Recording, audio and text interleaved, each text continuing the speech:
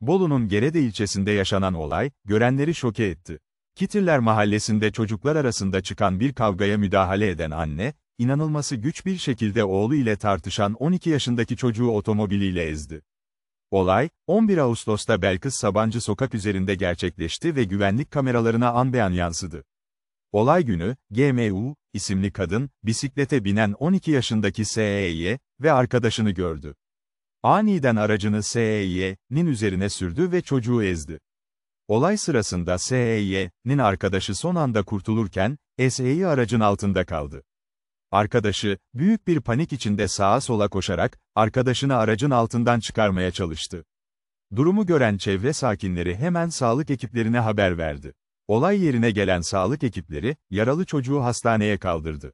Hastanede yapılan ilk incelemelerde SEY'nin vücudunda bazı kırıklar olduğu tespit edildi, ancak genel sağlık durumunun iyi olduğu belirtildi.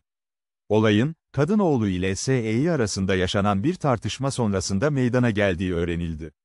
Kadın oğluyla kavga eden çocuğu cezalandırmak amacıyla bu dehşet verici eylemi gerçekleştirdi. Olayın ardından gözaltına alınan kadın ifadesi alındıktan sonra adliyeye sevk edildi. Mahkeme tarafından ev hapsi cezasına çarptırılan kadın, evinde gözetim altında tutuluyor.